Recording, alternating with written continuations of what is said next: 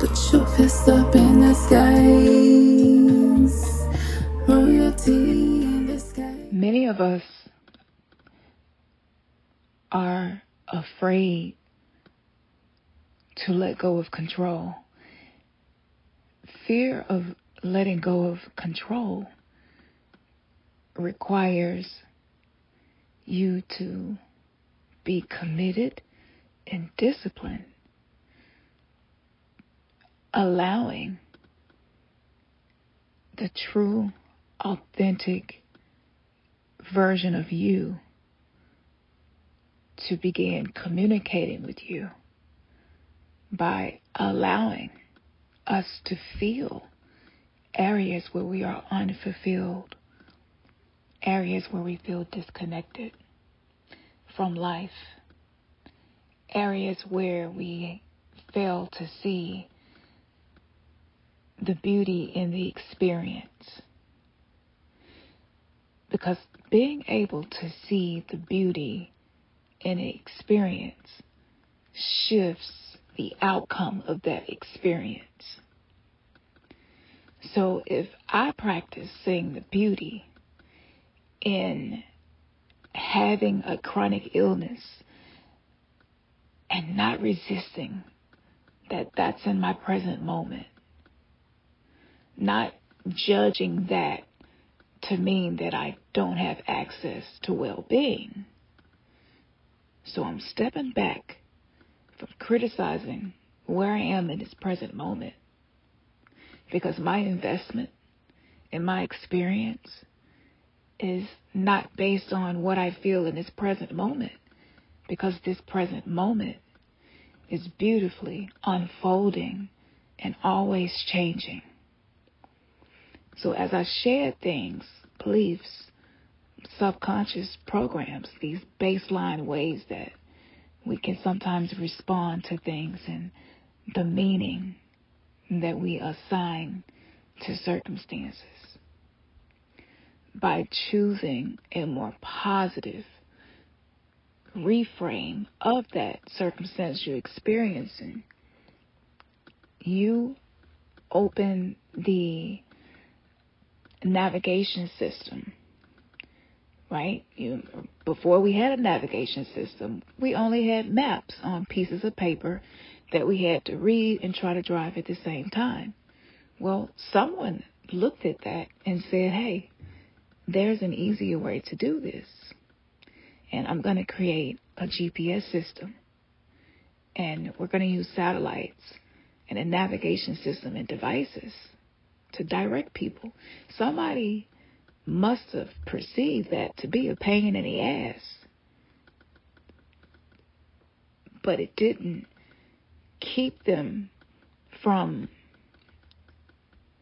being um, believing in themselves enough to create something to make this easier. You know, you got to have some level of faith to create something that hasn't been created yet. And I'm sure along the way, you have some failures. You have some things that don't go as well as you hoped that they would.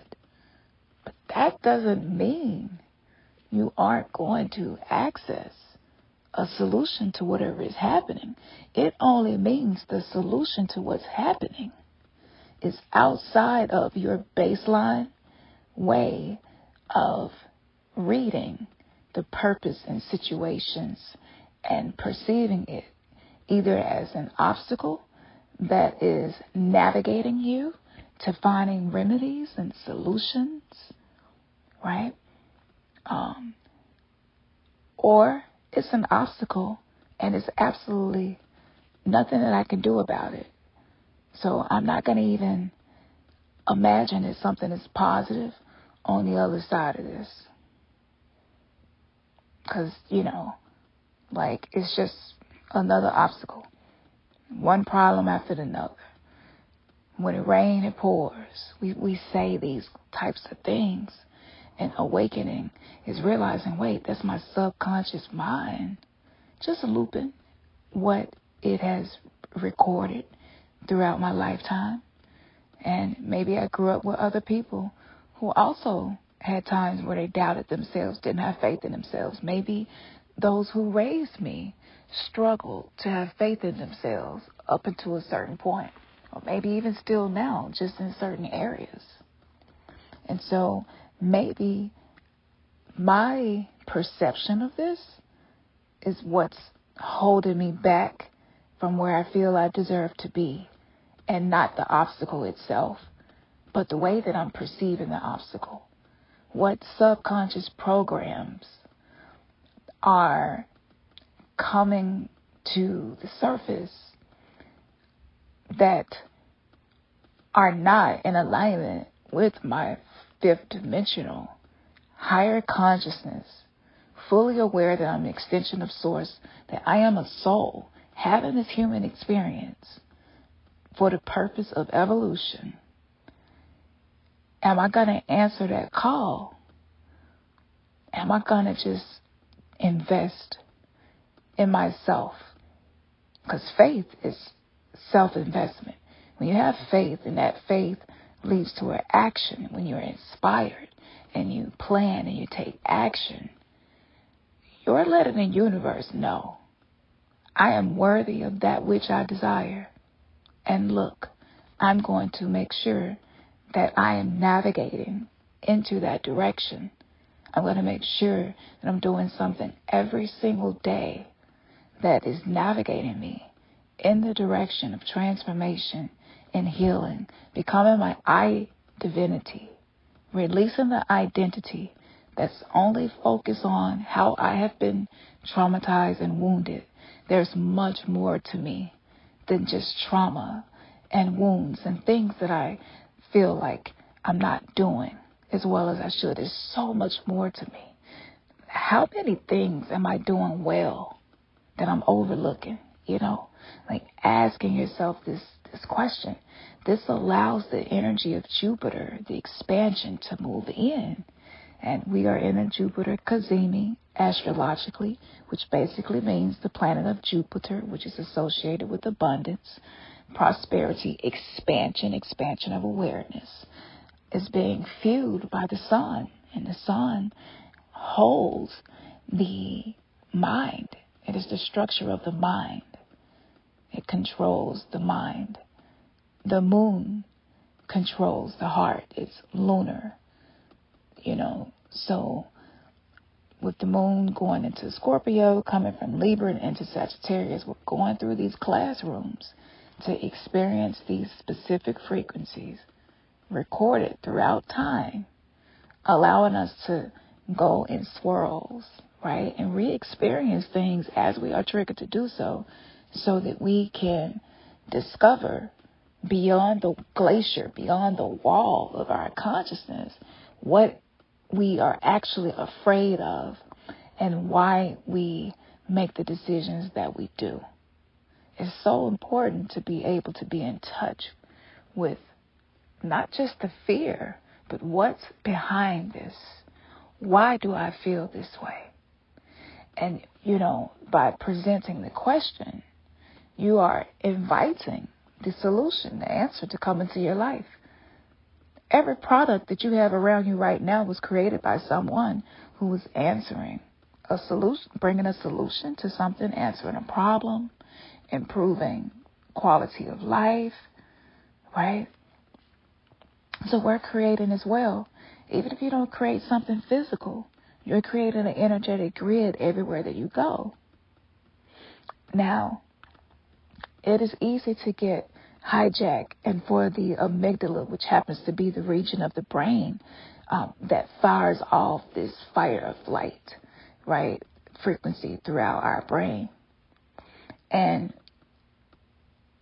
what happens is we begin emitting whatever we think about the most.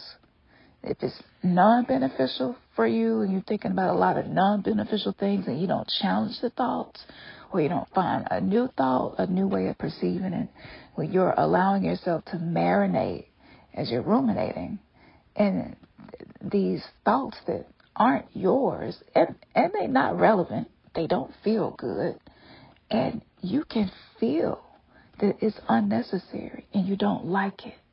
And this is when you become uncomfortable with some of the thoughts that you're having. Making peace with the mind. Uh, you know, letting the mind know I'm discovering parts of you where I repress experiences and, you know, certain false selves and egos took that place and took over. But I'm integrated now. And I am, you know, you're connecting with the subconscious, unconscious self, which rules most of our life. Habits are things that we have done so many times. We don't even question whether or not it's a habit that's beneficial to continue doing or is it keeping us away from something we would like to accomplish or have? You know, some people want to lose weight, and on the other side of getting an exam and loving themselves more and being more self aware of what they're eating and getting tests done to see, you know, what their levels are. Like these things are forms of love. We're taking care of our temple. Um, but when it comes to the mind, thoughts are that's the astral realm. That's the fourth dimensional realm, which holds our collective thoughts that we create, creating a thought form, a cultural, societal belief in the 3D matrix, right? It's a program belief. And then we also have the things we're completely unconscious of that are like tentacles reaching energetically into our lives, transmitting, you know, things that we have repressed into a compartment because it was too difficult to deal with. And now it seems like some of that stuff maybe that you ignored, or if, even if not intentionally, maybe you didn't get acknowledged um, in a loving way when you were um, younger. And so, because of that lack of validation, we are mammals, right? We thrive in tribes. We desire connection. That's life to us. That nourishes and sustains life.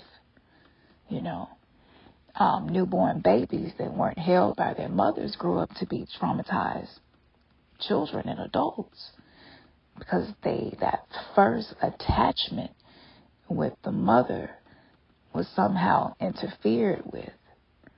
So, you know, a lot of that is coming up for us generationally. So if you're nine generations away, it's useful for you to know things like the frequency of your soul's essence so that you will realize the shadow aspects of you, they aren't there for no reason. They aren't there to sabotage you. They're there to allow you to discover the root of something, to meet a new part and be integrated and just be aware that that experience created this fourth dimensional thought vibration and just being willing to perceive it different. Just allow your heart to be open. So, the way that I have been delving into my subconscious mind has been setting intentions before I go to sleep and mainly using three specific crystals. One of them is the obsidian. And obsidian has this um, really dark, dark matter blackness to it. And this blackness is the depiction of the black dot. Okay, this is the pineal gland, the third eye perception is very much connected to obsidian. Anything that is able to reflect your physical image back to you has the ability to reflect back to you things that have been in darkness that you could not see. So, by working with this crystal, by speaking my intentions, programming this crystal to assist me as I am traveling the astral realm while I'm doing this thing called sleeping, right? That my subconscious mind, I'm able to receive those messages that I push away when I'm conscious through the day. Especially if I feel like I'm already going through a lot I don't want anything to overwhelm me, and I get in this hyper vigilant state, and I'm scanning every single thought and emotion, searching for a threat. That's basically what worry is and anxiety. You're searching for some type of threat. You're panicking about something that hasn't developed yet. You know, we we search for those things because we feel like if I go ahead and find something wrong with it, I can brace myself, and then I won't get hurt later. Well, what if that's not true? Are you willing to allow yourself to be navigated to a different angle of perceiving that? That's going to allow you to see something that you haven't allowed yourself to see when you're awake, when you're conscious. So when we're sleeping, we're in the astral realm, and this is uh, one of the most powerful times to be able to reprogram the subconscious mind. Every single night, by me using a strategy that I'm going to be teaching in, in the dream interpretation masterclass coming up on April 20th, 2023, I have been able to retrieve some of my deepest fears. I have been able to remember some of the dreams that I had when I was a child, some of the ways that I believed in myself before the programming that I received. All of that is coming back to me.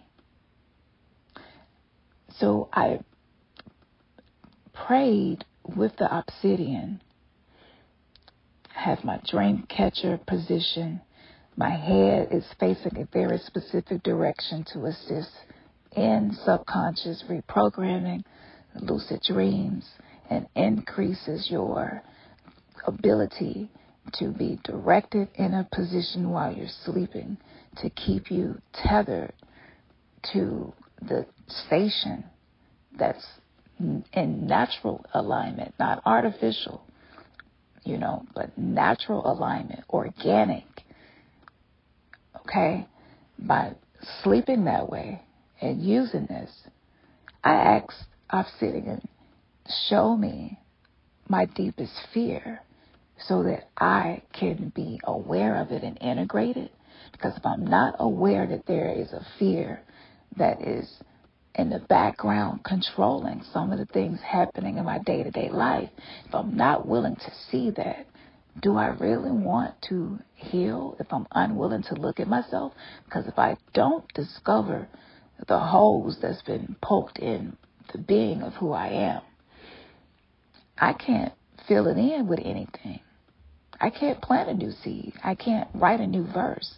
I'm completely unaware that a particular fear is what has been instructing, right, my beliefs, which are creating decisions that I'm making and the decisions that I'm making are showing up as circumstances. And the circumstances with each passing day become my reality. And my reality now is also merging with people in my life, my spouse, my children, people that I work with. And I'm learning to be more aware of the energy that I'm in and what I'm transmitting. If I need time to myself, because I'm aware I'm processing some deep wounds, then I'm able to have structure in creating that. So when you do this, when you create structure before you fall asleep, okay, you're giving an invitation for you to integrate the shadow aspects of you that you are afraid to face. And it's so beautiful that we as human beings can choose to do this and have tools to support us in doing this. On the sixth night of me doing this, um, I had a dream. And in that dream, I was reminded of the previous dream where I saw myself teaching these things. Um, and in that dream, I saw this, um, how do you describe it? It was a parallel reality because it felt just a little different. Kind of like when you get on a plane and get off in a different city, and you might not have traveled outside the airport, but it feels very different, right? That's you picking up on the psychometry of a location. So there's not only repressed parts of you that you feel like are negative in the shadow self. Those are, there are positive parts of you as well, um, and they all hold their own energetic signature when they come up. So the way that you add meaning to that changes everything. So if you can acknowledge that while you are sleeping, you are getting closer to that which you desire, and you go to sleep with that intention, and you allow yourself to um, face some of the things you need to face, to be aware of. Um, you know, that's such a gift because in that sacred space while we're sleeping, right before we fall asleep, drifting into theta, we're highly, um, in that moment, programmable. We can hypnotize ourselves for positive purposes. And many of us worry and ruminate on negative things a lot. So what happens is you're actually hypnotizing yourself to focus on the negative. And the more you uh, focus on the negative and stay there, the more you are ingraining that neural pathway in your brain to perceive it as such. So by you working with these particular crystals that I'm going to be sharing, you are clearing the third eye um, to be used to navigate. And um, and so some of the fears that's been coming up for me were connected to feeling abandoned and rejected, feeling like I was just a mistake, born into this world. It shouldn't have been for so long. That tormented me, not being accepted um, fully, like having to deal with friends and people, associates and coworkers being jealous of you. Like that's hurtful. You don't want to experience that. And oftentimes the people on the other end of that don't feel like they're being that way. So we didn't get closure for a lot of stuff. So it's coming up right now. By having a process, a routine, a spiritual practice that you discipline yourself to be committed to doing, no matter how many times you feel like you're not doing it right or it's not effective, you just continue to do it. That investment in yourself, it could just be five minutes, but by you investing in yourself and meditating and doing that, you're planting seeds of your choosing. You're scripting your life with new verses. No longer singing a trauma song, but saying it's something on the other side of trauma. I know that this there is triumph on the other side of this. I know that I have the capability to heal whatever this is because if I didn't, it wouldn't be showing up. And I can choose what I focus on. By doing that, you hypnotize yourself to love yourself a little more. Each moment you do this, each time you do this before falling asleep. So, um, so that masterclass is going to be on the 20th, as I said, of April 2023, 7 p.m. CST. Join us for this epic event. This will be the last masterclass that I'm going to do for a month or a month or two. I'm going to take some time off to be healing some of the things that I'm doing to take care of myself that I've been definitely, definitely in need of doing. Um, but I'm going to need some time to heal afterwards. So this will be the last master class. And join me if this is resonating with you because I'm telling you, you have been activated and the ability for you to heal certain things um, that you needed to search for something outside of you to give you faith that you were going in the right direction, like that's no more. That's old earth belief system. That's an old earth 3D matrix, prison planet, social construct. And it's just with each passing day that you don't do something different, you're reaffirming the trauma reenactments. And so you're not able to break the loops. But by changing one thing, you can break out of the loop. And so many solutions have come to me by doing this work. I will also be sharing with you the top herbs to assist you in this journey and the deities that I have been using to guide me into higher consciousness. One is male, one is female, bringing the balance of the male female, bringing the balance of the right brain, left brain. Those two hemispheres carry feminine energy, which is the right brain, and the masculine energy, which is left. Masculine energy is our logic, our instinct, oftentimes, our reasoning. The right brain is our creativity. It's our ability to be receptive. So you're not transmitting anything. You have moments to be receptive. Prayer is about speaking out, transmitting something into your vibrational field. Meditation is allowing yourself to drift into a space to receive that wave of consciousness back connected to what you have asked for so that it can be given to you. And oftentimes we don't know when to open up ourselves to receive and when to give and transmit a certain energy or belief. Because whenever you take an action based in a belief or an emotion, you're transmitting something into the frequency um, of the quantum field around you.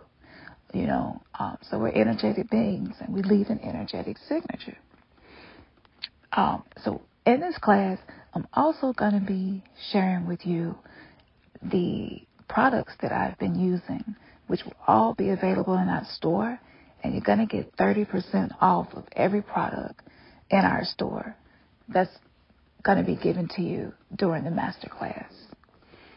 You will also receive a third eye sound bowl activation, and this is a sound healing session to activate the pineal gland, activate the third eye, to infuse your awareness, your conscious mind with the frequency that matches the third eye so that you are able to align your perception with a higher perception. So it's like a telescope strength to see the cosmos, to see into your subconscious mind which is the below version of the cosmos. It's the darkness, it's the space, it's the unknown for us. It's like the land we haven't really traveled to or don't remember that we traveled to. So in that class, I'll be sharing that. Be sure to leave a comment below. Let me know what was the main takeaway from this transmission, from this video, this information I'm sharing with you? What was the main thing that really stuck with you?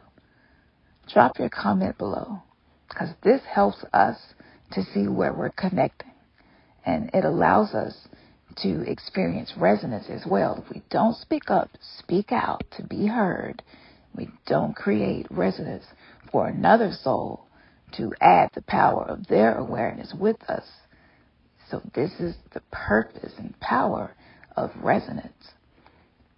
Us having a similar um, vibrational field that we're aware of. Once we continue doing that, we're sending each other strength as we are doing better on our own journey instead of trying to fix people.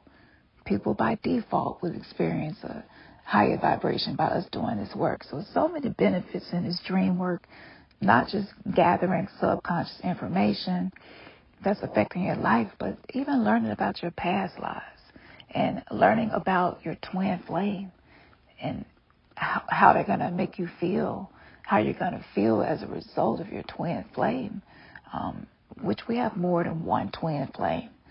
But again, I, through dreams, attracted my relationship with Ernest. I knew that he was coming. And so it was so much easier for me to make the decision to go on this sacred journey of partnership with him while we were both awakening.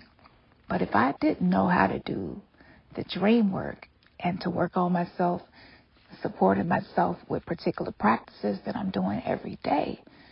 Well, I can't receive what it is that I'm asking for because I'm not in the location. I'm not on the channel to hear, you know, the information that I need. I just need to change the station. And this is most powerfully done while we are sleeping.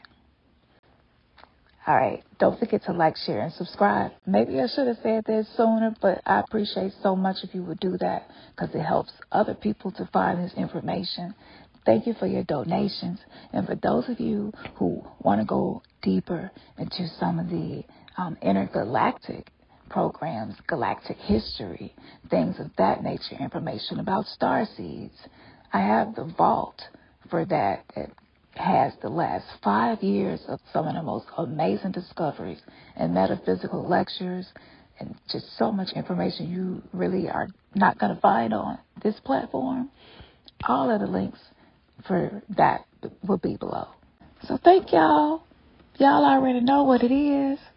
May, your third eye. Royalty in disguise.